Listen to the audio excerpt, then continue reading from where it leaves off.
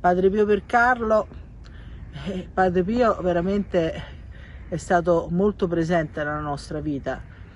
Io ehm, diciamo posso vantare di essere stata benedetta il giorno che sono nata perché mia, mia zia era figlia spirituale di Padre Pio e Padre Pio eh, diciamo eh, incontrò mia zia proprio quel giorno che, che ero nata e, e mia zia gli chiese una preghiera per me e Padre Pio disse la benedico, la benedico.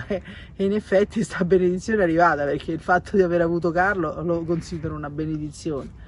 E Carlo eh, è sempre stato molto attratto da, da Padre Pio perché avendo appunto la zia che ci raccontava di Padre Pio e poi neanche a farlo apposta noi siamo, mio padre è originario di Salerno e abbiamo, abbiamo proprio, eravamo amici tramite il fratello di mio papà che è lo zio Lucio, di Consiglia De Martino, che è una delle miracolate di Padre Pio, con cui mi sento spesso, che eh, pure lei, insomma, no, no, lo, vedo, lo, vedo, un po' un, un, piccolo segno. E poi mi ricordo un episodio bello che, diciamo, eh, Carlo aveva la febbre altissima, cioè la febbre tipo a 39 e mezzo, e io ero andata a letto non me ne ero accorta. E durante la notte mi sogno Padre Pio, mi dice svegliati che tuo figlio sta male eh, io sono andata lì, sono andata subito da Carlo, visto che in effetti aveva la febbre forte, no? E quindi eh, Padre Pio ci ha dato sempre tanti segni, ecco. Soprattutto Carlo, questa devozione che aveva per Padre Pio era perché mm, questa, questa devozione eucaristica di Padre Pio, no? Quando faceva la messa, che stava così in meditazione, come se stesse sul Calvario, ma eh, veramente lui viveva il Calvario. Ecco, Carlo l'aveva tanto attratto, tanto colpito questo fatto, ecco. Poi anche il fatto degli angeli custodi di Padre Pio, perché Carlo era molto devoto del suo angelo custode. Tra l'altro lui diceva che si chiamava Gabriele.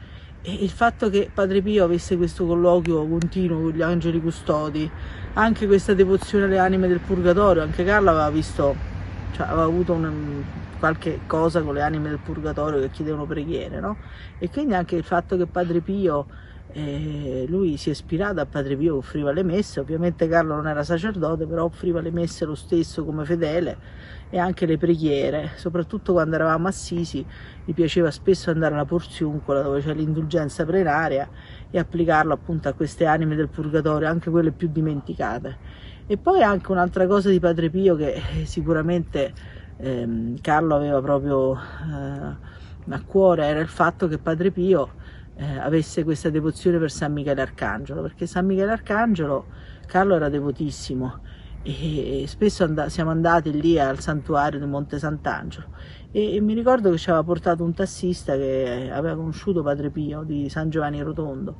E questo tassista ci raccontava che Padre Pio aveva, quando aveva dei casi disperati che lui non poteva fare niente mandava le persone a San Giovanni Rotondo a Monte Sant'Angelo, appunto nella grotta dell'Arcangelo San Michele.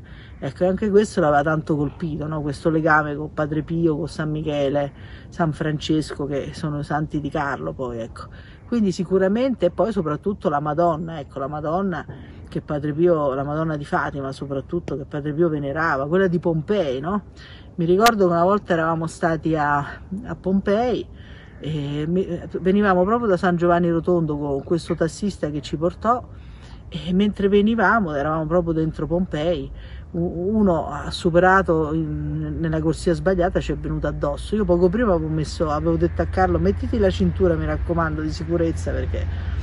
E, e quindi avevamo questo, questo impatto no, con questa macchina, però non ci siamo fatti niente. Poi abbiamo preso le testimonianze e tutto quanto per il tassista che si era un po' rovinato la macchina.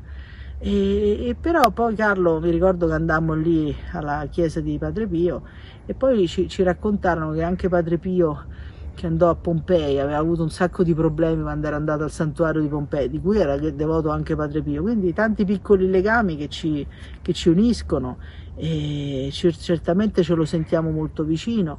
E poi non è casuale che Carlo stia lì proprio al santuario della spoliazione dove ci sono i cappuccini che lo eh, che sono i rettori, insomma, quindi questo secondo me è anche un segno, no? un segno. Poi quando Carlo era in vita avevamo anche dei sacerdoti cappuccini, tra cui padre Giulio Savoldi, che era il vice postulatore di Fra Cecilio eh, Cortinovis, di cui è aperta la causa di beatificazione, legato lì alla mensa dei poveri a Milano, in Viale Piave. Ecco, Carlo spesso andava a trovare questo padre Giulio, che è stato anche uno dei testimoni, e gli regalava i soldi, tutti i soldini, Salvatanaio c'aveva una pazienza questo padre Giulio perché contava tutti questi spiccioli, questi soldini, perché Carlo era piccolo, però aveva ecco, una venerazione grande proprio, e gli piacevano i cappuccini con quelle loro barbe così. Eh.